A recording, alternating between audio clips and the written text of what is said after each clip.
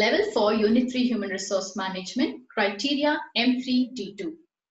This section will make you deal with different tools of human resource management, such as the scope and plan of study and survey plan, data collection, data analysis, and results and discussions.